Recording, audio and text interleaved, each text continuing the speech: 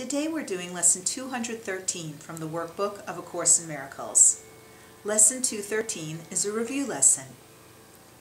I am not a body, I am free, for I am still as God created me. All things are lessons God would have me learn. A lesson is a miracle which God offers to me in place of thoughts I made that hurt me. What I learn of Him becomes the way I am set free. And so I choose to learn His lessons and forget my own.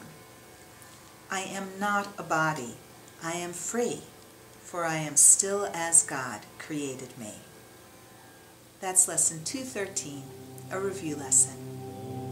If you'd like to read my commentary on the workbook, go to amytorresacim.com and look for Amy's blog. Namastê.